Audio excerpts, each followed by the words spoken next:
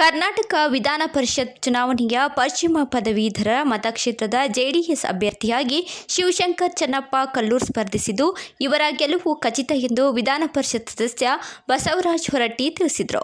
ನಗರದಲ್ಲಿಂದು ಪತ್ರಿಕಾಗೋಷ್ಠಿಯಲ್ಲಿ ಮಾತನಾಡಿದ ಅವರು, ಪಶ್ಚಿಮ ಪದವೀಧರ ಚುನಾವಣೆಗೆ ಇಂದಿನಿಂದ ಚುನಾವಣಾ ಪ್ರಚಾರಕ್ಕೆ ಚಾಲನೆ ನೀಡಲಾಗುತ್ತಿದೆ. ನಮ್ಮ ಅಭ್ಯರ್ಥಿ ಗೆಲುವಿಗಾಗಿ ಪ್ರಾಮಾಣಿಕವಾದ ಪ್ರಯತ್ನ ನಡೆಸಿದ್ದೇವೆ. ಈಗಾಗಲೇ ಬೇರೆ ಬೇರೆ ಪಕ್ಷದ ಅಭ್ಯರ್ಥಿಗಳು ನನ್ನನ್ನು ಸಂಪರ್ಕ ಮಾಡಿದ್ದಾರೆ. ಬೆಂಬಲ ಸೂಚಿಸುವಂತೆ ನನಗೆ ಮನವಿ ಮಾಡಿದ್ದಾರೆ. ಆದರೆ ನಾನು ನಮ್ಮ ಪಕ್ಷದ ಅಭ್ಯರ್ಥಿ ಶಿವಶಂಕರ್ ಕಲ್ಲೂರು ಅವರಿಗೆ ಮಾತ್ರ ಬೆಂಬಲಿಸುತ್ತೇನೆ ಎಂದರು. ಮುಂದುವರೆದು ಮಾತನಾಡಿದ ಅವರು, ರಾಜ್ಯದಲ್ಲಿ ಬಿಜೆಪಿ ಸರ್ಕಾರ ಅಧಿಕಾರದಲ್ಲಿದೆ. ಅವರು ಪದವೀಧರರಾಗಿ ಈವರೆಗೆ ಏನು ಮಾಡಿದ್ದಾರೆ? ಬಹಿರಂಗಪಡಿಸಲಿ, ಈ ಕುರಿತು ಬಹಿರಂಗ ವೇದಿಕೆ ಮೇಲೆ ನಾವು ಚರ್ಚೆಗೆ ಸಿದ್ಧ ಎಂದು ಸವಾಲು ಹಾಕಿದರು. ನಾವು ಈವರೆಗೆ ಯಾರ ನಂಬಿಕೆಯನ್ನ ಕಳೆದುಕೊಂಡಿಲ್ಲ.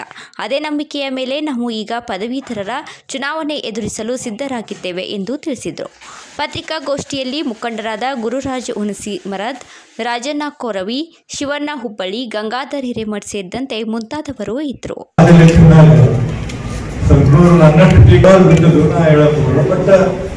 ನಮ್ಮದೇ ರೀತಿ ನಮ್ಮ ಕೆಲಸಗಳು ನಮ್ಮ ಮಾತು ನಾವು ಚುನಾವಣೆಯನ್ನು ಎಷ್ಟು ಅದೆಲ್ಲ ಜನರಿಗೆ ಗೊತ್ತಿದೆ ತಿಳುವಳಿಕೆ.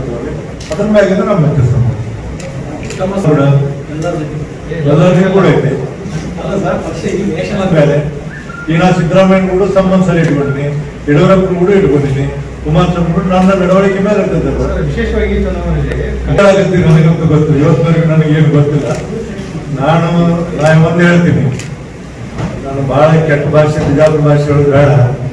ನಾನು ಯಾವುದೇ ರೀತಿಯಿಂದ ಮುಂಜಾನೆ ಒಂದು ಸಂಜೆಗೊಂದು ಉದ್ಯೋಗ ಮಾಡಂಗಿಲ್ಲ ರಾಜಕೀಯ ಚುನಾವಣೆ ನಾ ಹೇಳಿದ್ದೀನಿ ಸರಿ.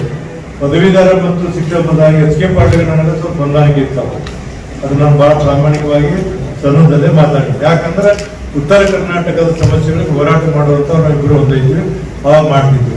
ಅದಾದ ನಂತರ ನಾವು ಯಾವುದೇ ರೀತಿಯಿಂದ ನಾವು ಶಿಷ್ಯನಿರಲಿ ಯಾರೇ ಇರಲಿ ಖಂಡಿತವಾಗಿ ಪ್ರಾಮಾಣಿಕವಾಗಿ ಹೇಳ್ತಿದ್ದೀನಿ ನಮ್ಮ ನಾಲಿಗೆ ಒಂದೇ ಇದೆ. ಎರಡು ನಾಲಿಗೆ ನಮಗಿಲ್ಲ. ಯಾವುದೇ ಪರಿಸ್ಥಿತಿಯಲ್ಲಿ ಶಿವಶಂಕರ್, ಕಲ್ಲೂರನ್ನ ಬಿಟ್ರೆ ಇನ್ನೊಬ್ಬರ ಬಗ್ಗೆ ನಾನೇನು ಮಾತಾಡ್ಬೋದು ನನಗೆಲ್ಲ ಭೇಟಿಯಾಗ ನನಗೆಲ್ಲ ಅಭ್ಯರ್ಥಿಗಳು ಭೇಟಿಯಾಗ ಬೆಟ್ಟ ದೇವ್ರು ಒಳ್ಳೇದು ಮಾಡಪ್ಪ ಹೇಳಿದ್ರು.